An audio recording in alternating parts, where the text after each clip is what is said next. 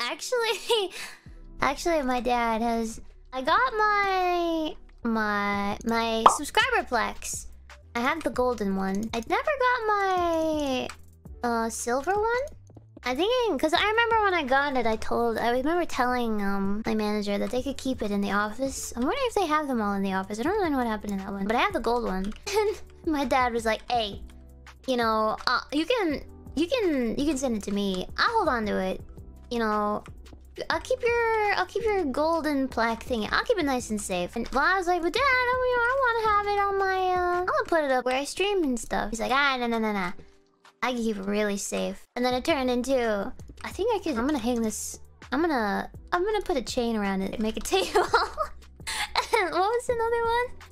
There was so many different Dad Trophy Hunter. That is exactly it. It was I'm gonna make a table out of this, or we're gonna hang it.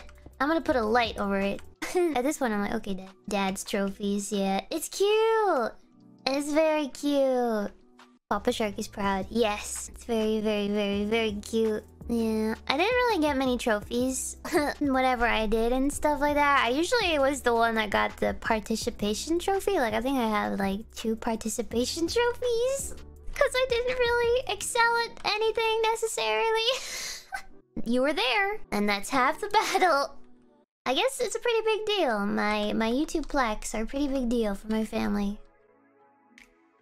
Okay, we'll put one here.